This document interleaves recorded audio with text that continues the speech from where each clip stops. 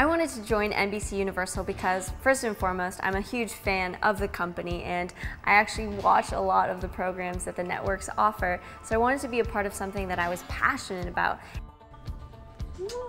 I started my internship in Los Angeles with the Style Network. And years later, I ended up in Singapore and stumbled upon NBCU Asia. During the internship, I was able to work closely with creatives, producers, directors. They gave me the ability to pitch show ideas. I got to review pitch ideas that came in. It was funny because I was in production with the hopes of being an on-camera talent in the future, and that's what I am now, so it's really cool.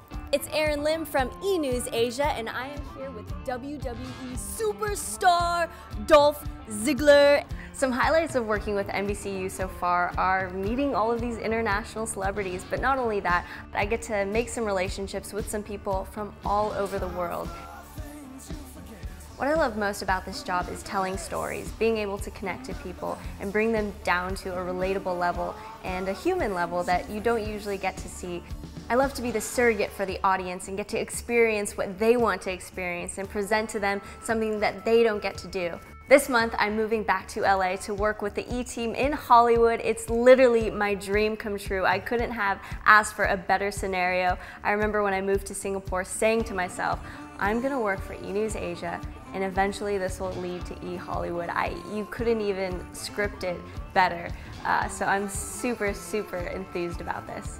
I would absolutely recommend the NBCU internship program because it's not just a regular internship. It's an actual program where you learn, you grow, you experience amazing things.